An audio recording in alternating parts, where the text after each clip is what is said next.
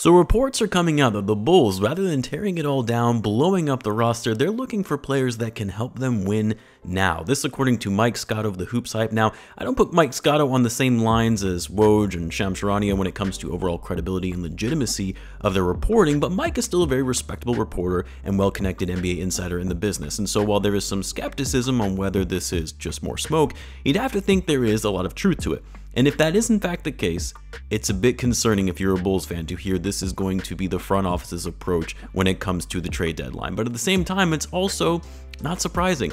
Like, are we really surprised that this front office, who has made it abundantly clear that they were looking to win now, how they weren't interested in a rebuild, how they believed in the guys that they had, not really taking much accountability for the team they constructed, they did all of that on Media Day, did you really expect any other scenario? This new regime came in, didn't even wait a full season on the job before taking swift action to start being competitive now when they traded for Vucevic. So we all know these guys aren't going to take defeat lightly. We know they're not going to give up on this so quickly, even though I think most people would agree that they should.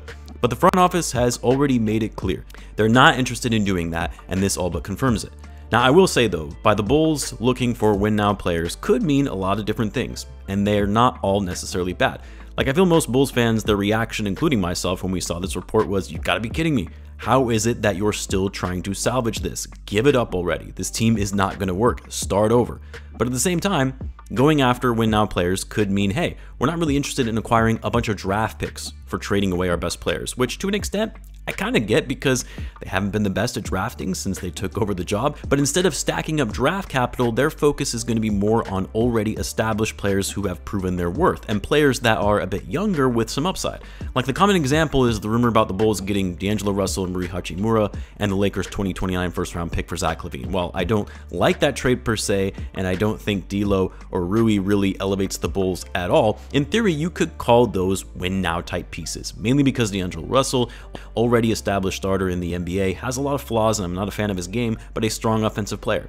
Can shoot, and veteran experience. Hachimura is still young, younger than Zach anyway, and has some upside to give you more depth at the 4. I'm not saying I necessarily agree that this would be considered win now type players, but simply saying this maybe is how the front office is viewing it because in theory, you could still be competitive, especially considering how well the Bulls have played as of late without Zach LaVine. The other thing is, it's very possible the Bulls try and go after bigger, younger name type players who actually would help them win now.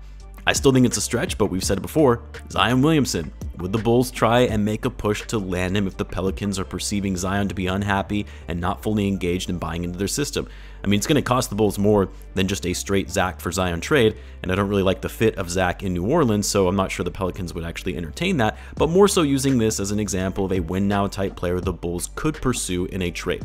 And then, of course, my worst nightmare, the Bulls trading Zach for Julius Randle, which if that happens, I may just quit on this fan base. I highly, highly doubt it would happen. But again, really just using it as an example of another quote unquote star level player who has been a bit disgruntled, fans are frustrated with his performance, he might be due for a change of scenery. Maybe that's another way the Bulls front office is viewing this as an opportunity to still bring in win now talent without having to go into a full blown rebuild, even though bringing in Randle and putting him alongside DeMar, another player who is ISO heavy and a ball stopper and doesn't help space the floor, would be an absolute disaster.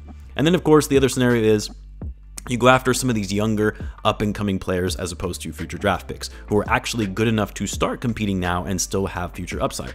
Like, would the Bulls be able to make a push for Jaime Jaquez, Jaden Ivey from the Pistons, OG Anunoby from the Raptors if they're still looking to move him, although he's not really that young anymore, but a very serviceable two-way player that could elevate this team. Like, there are ways the Bulls could approach this in a way where they feel they could still bring in competitive pieces right now, players that are already established rather than hoping some future draft picks pan out.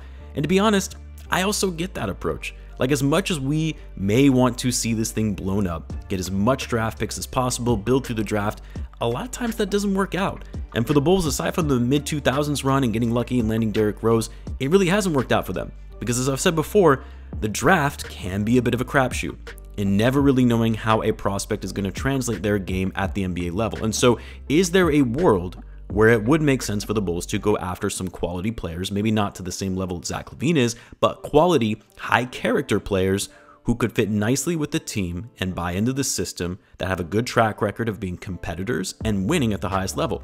to at least keep this team competitive and for the franchise to still be able to attract free agents. Because let's be real, if and when the Bulls do trigger a rebuild, you're not going to be able to get quality free agents once that happens. The top free agents aren't going to want to come to a rebuilding situation, even if you offer them a big bag. The counter to all this, though, by the Bulls trying to pursue win now players, whether it be some of the ones I mentioned or others, does this just keep the Bulls mid and in a perpetual state of mediocrity? Because as we all know, that's the worst place to be in basketball. Not good enough to truly compete, but not bad enough to really secure some of the top prospects entering the league and a chance at franchise level players. And my concern is that is most likely going to be the scenario if the Bulls push for this route. Like, yes, D'Angelo Russell, Rui Hachimura will enable the Bulls to still be decent. Maybe they make the play in, but those guys aren't moving the needle for them. Even with a lot of the other options that I mentioned, it's the same scenario.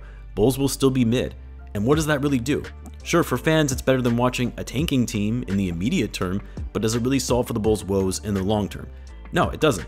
Now, I do like the idea of going after some of these younger pieces like Jaime Jaquez, Jaden Ivey. I'm sure there are other names I'm forgetting that could be moved if they don't fit the timeline of their current team, but that enables the Bulls to still be somewhat competitive, but bad enough that they get a decent lottery pick, but they're all these young studs that you can continue to work with and build around to go alongside Patrick Williams and Coby White. The other wrinkle to add to all of this, it was reported yesterday the Bulls are not interested in trading Alex Caruso and have reportedly shut down calls from a host of teams that are interested in him.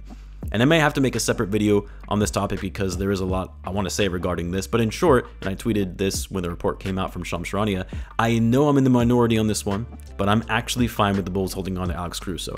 Unless you're getting an insane haul for him, I'm talking two first round picks at a minimum, maybe even a young player in that, then yes, you trade him. But as good as AC is, I really don't see a title contending team giving up that much to get him. And if you're not going to get that kind of return, in my opinion, it's not worth trading him. He's more valuable than that.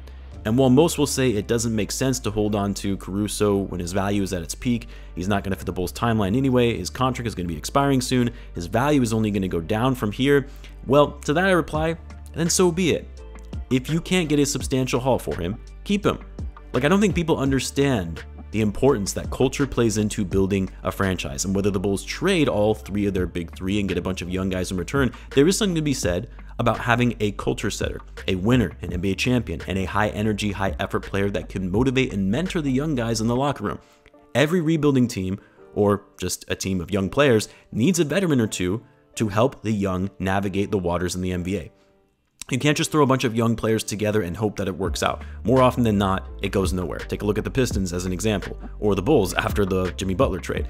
So I do think there is value in keeping Alex Caruso in this lineup, extending him early and having him stay around as the Bulls' culture builder and mentor going forward, regardless of the direction they take and still trying to win now or rebuilding. I know a lot of people won't like hearing that, but that's just my take on it. I guess I don't really need to make a separate video on this topic since I said my piece there. Anyway, let me know your guys' thoughts on all of this, on the Bulls looking to find win now players on the trade market. Let me know in the comments. As always, be sure to subscribe, and I'll see you in the next one.